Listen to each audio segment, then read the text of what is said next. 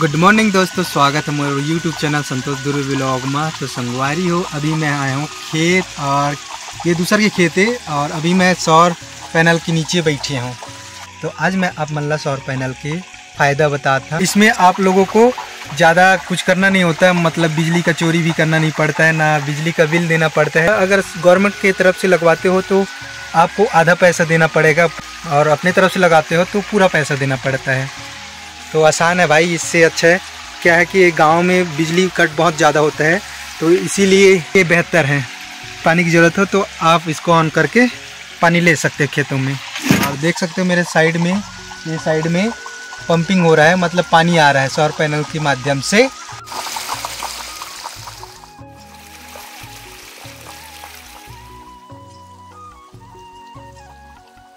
और ये देखो, इसका फ़ंक्शन है। तो यहीं से ऑन करके मोटर चालू कर सकते हो। और एक फ़ायदा और है कि अगर आपको धूप लगता है तो इसके नीचे आप बैठ सकते हो, जैसे कि मैं बैठा हूँ। अभी धूप निकला हुआ है और यहाँ पर मैं मस्त बैठा हूँ। अच्छा ठंडा ठंडा हवा भी चल रहा है। खेत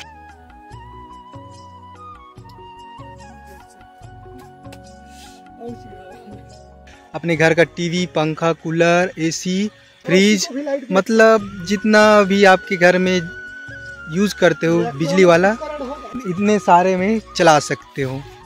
बस आपको सूरज की प्रकाश चाहिए। और दोस्तों, अभी हम जा रहे हैं वापस घर, और अभी तो हमने इसको ऑन करके जा रहे हैं।